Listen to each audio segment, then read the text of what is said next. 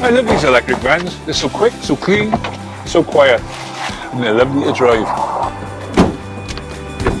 And I'm using way less energy so I can tell the grandkids I'm helping to save the planet.